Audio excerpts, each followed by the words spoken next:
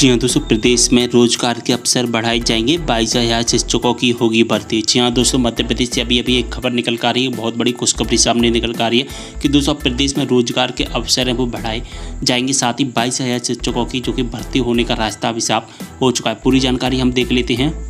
तो दोस्तों, जैसा कि आप देख पा रहे हैं प्रदेश में रोज़गार के अवसर बढ़ाए जाएँगे। बाईस हज़ार छः सौ सत्तर शिक्षकों की भर्ती प्रक्रिया पुनः प्रारंभ होगी।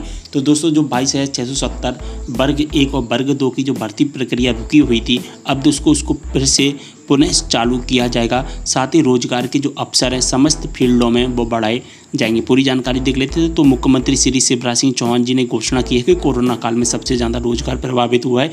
दूसरे लेवल में मध्य प्रदेश सरकार के द्वारा स्ट्रीट वेंडर्स, कर्मकार मंडल के श्रमिकों, किसानों के खाते में सहायता राशि डाली गई है। मध्य प्रदेश सरकार रोज़गार के अधिक से अधिक अवसर बढ़ाने का प्रयास कर रही है। तो दोस्तों, शिवराज सिंह चौहान जी ने कहा है कि इन सभी स्ट्रीट वेंडर, कर्मकार मंडल, इनके खातों में रोज़गार के लिए जो पैसे डाले गए हज़ार हज़ार रुपये डाले गए थे किसी के में पाँच पाँच हज़ार रुपये भी डाले गए थे।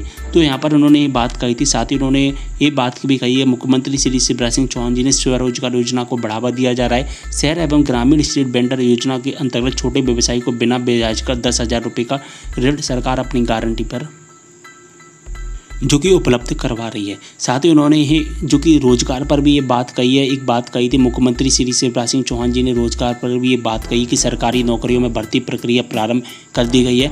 यानी कि उन्होंने आदेश निकाल दिए, भर्ती प्रक्रिया जल्द से जल्द प्रारंभ कर दी गई है। प्रदेश में बाईस हज़ार छः सौ सत्तर की जो शिक्षकों की, वर्ग एक और वर्ग दो की जो भर्ती प्रक्रिया रुक गई थी, उसको पुनः प्रारंभ कर दिया गया। स्वास्थ्य विभाग में चिकित्सकों, नर्सिंग स्टाफ तथा पैरामेडिकल स्टाफ की भी भर्ती की जा रही है। तो दोस्तों, मध्य प्रदेश में रोज़गार के अवसर बढ़ने वाले हैं। शिवराज सिंह चौहान जी ने इसकी घोषणा कर दी है। अब देखते हैं कब से कब तक जो शिक्षकों की भर्ती शुरू होती है और दोस्तों, सरकारी नौकरियाँ किस तरह से निकाली जाती हैं, इसके बारे में आपको एस चैनल पर हर अपडेट मिलता रहेगा। तो दोस्तों, वीडियो को शेयर कर देना है, क्योंकि वीडियो हमारे लिए बहुत ज़्यादा इंपॉर्टेंट है और जो वर्ग वर्ग दो के स्टूडेंट हैं, उनके लिए तो बहुत ज़्यादा दोस्तों इंपॉर्टेंट रहने वाला है। तो वीडियो को शेयर कर देना, कोई भी डाउट हो, साथ ही इंस्टाग्राम पर फॉलो कर लेना। जो कि आपके डाउट इंस्टाग्राम पर डीएम के द्वारा पूछ सकते हैं। और साथ ही कमेंट करके ज़रूर बताना। मिलते हैं इस वीडियो के साथ, तब तक के लिए बाय